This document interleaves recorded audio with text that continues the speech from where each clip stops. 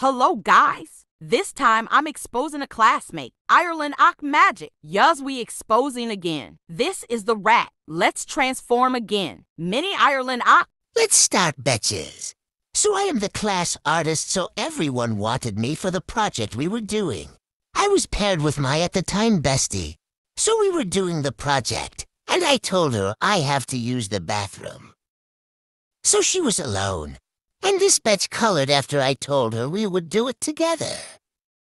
We were using green paper so it looked ugly AF, and I had to pretend I liked it.